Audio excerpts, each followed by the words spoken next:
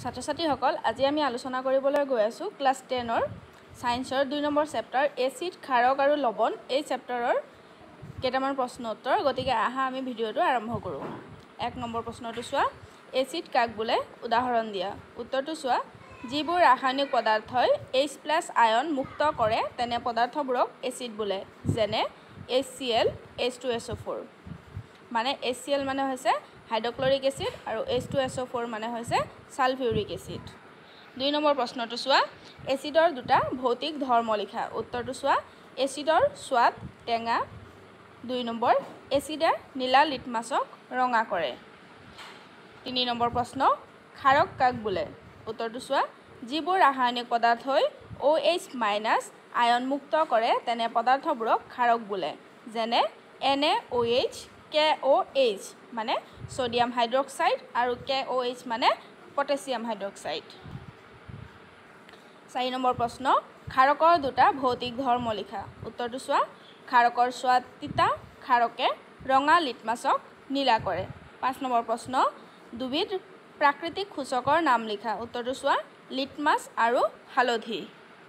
ছয় নম্বৰ প্ৰশ্ন দুবিধ সাংশ্লেষিক বা কৃত্ৰিম সূচকৰ নাম লিখা।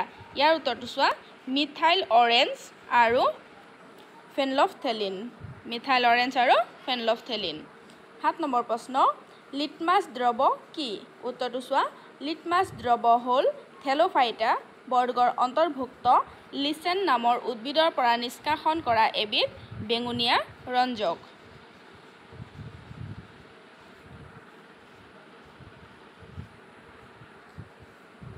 আঠ নম্বৰ প্ৰশ্ন ঘানেন্দ্ৰিক সূচক কি উদাহৰণ দিয়া? উত্তৰ চোৱা কিছুমান পদাৰ্থ আছে যিবোৰৰ আমলিক আৰু ক্ষাৰকীয় মাধ্যমত গোন্ধৰ পৰিৱৰ্তন ঘটে।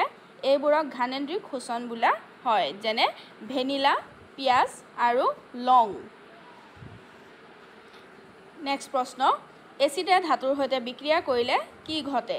উদাহৰণ দিয়া। উত্তৰটো চোৱা এচিডে ধাতুৰ সৈতে বিক্ৰিয়া কৰিলে লৱণ আৰু হাইড্ৰজেন গেছ উৎপন্ন হয় যেনে H two S O' four plus Z N goes to Z N S O' four plus H two sulphuric এচিডে যেতিয়া জিংকৰ লগত ৰিয়েকশ্যন কৰিছে তেতিয়া জিংক ছালফেট আৰু হাইড্ৰজেন গেছ উৎপন্ন হৈছে। দহ নম্বৰ প্ৰশ্ন ক্ষাৰকে ধাতুৰ লগত কৰা এটা বিক্ৰিয়াৰ উদাহৰণ দিয়া। উত্তৰটো চোৱা ক্ষাৰক two N A O' H sodium hydroxide plus ধাতু zinc goes to N A two Z N O' two H two. Next প্ৰশ্ন। ধাতৱ কাৰ্বনেটে এচিডৰ সৈতে বিক্ৰিয়া কৰিলে কি ঘটে? উদাহৰণ দিয়া। চোৱা ধাতৱ কাৰ্বনেটে এচিডৰ সৈতে বিক্ৰিয়া কৰিলে লৱণ কাৰ্বন ডাই অক্সাইড আৰু পানী উৎপন্ন হয়। যেনে N A two C O' three plus two H C L goes to two N A C L plus H two O' plus C O' two বাৰ নম্বৰ প্ৰশ্ন ধাতৱ হাইড্ৰজেন কাৰ্বনেটে এচিডৰ সৈতে বিক্ৰিয়া কৰিলে কি ঘটে? উদাহৰণ দিয়া। চোৱা। ধাতৱ হাইড্ৰজেন কাৰ্বনেটে এচিডৰ সৈতে বিক্ৰিয়া কৰিলে লৱণ কাৰ্বন ডাই অক্সাইড আৰু পানী উৎপন্ন হয়। ৰিয়েকশ্যনটো চোৱা। N A H C O' three plus H C L to N A C L plus H two O' plus C O' two. তেৰ নম্বৰ প্ৰশ্ন। কাৰ্বন ডাই অক্সাইডক চূণ পানীৰ মাজেদি পঠালে কি ঘটিব? উত্তৰ চোৱা। উৎপাদিত কাৰ্বন ডাই অক্সাইডক চূণ পানীৰ মাজেদি পঠালে কেলছিয়াম কাৰ্বনেটৰ পৰা বগ বগা অদক্ষেপ আৰু পানী উৎপন্ন হয়। যেনে ৰিয়েকশ্যনটো চোৱা C A O' H whole two plus C O' two to C A C O' three plus H two O' next question calcium কাৰ্বনেটৰ ভিন্ন ৰূপকেইটা কি কি?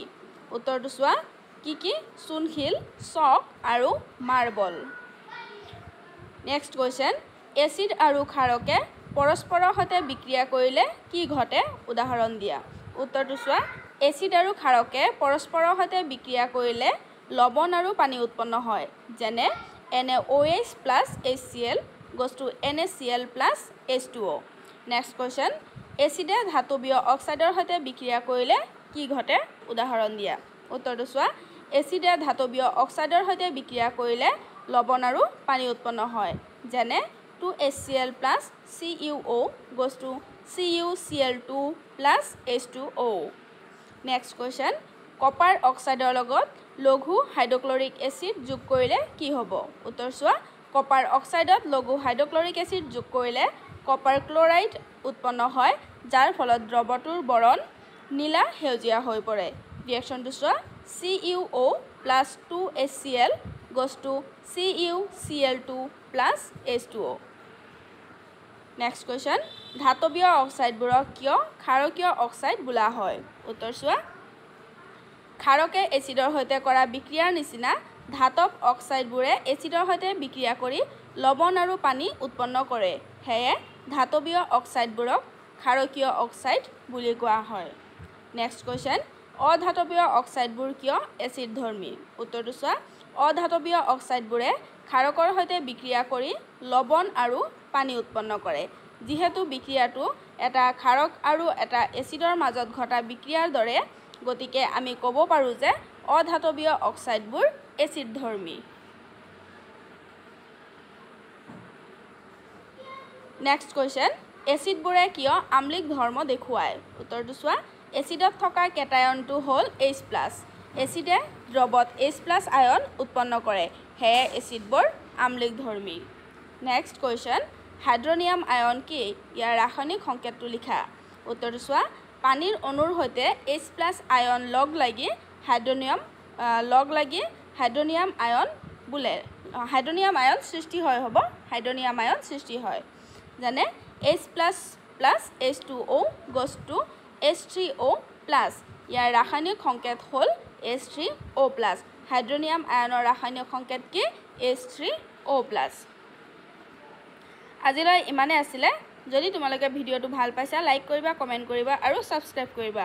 লগতে যদি তোমালোকে এক নম্বৰ চেপ্টাৰৰ ইনচাইড কুৱেশ্যন আৰু প্ৰশ্নাৱলী বা অনুশীলনী এইবোৰৰ প্ৰশ্নোত্তৰ চাব বিচাৰা তেতিয়াহ'লে তোমালোকে এই চেনেলটোতে পাই যাবা। গতিকে তোমালোকে তাৰপৰা চাই ল'ব পাৰিবা। Thank U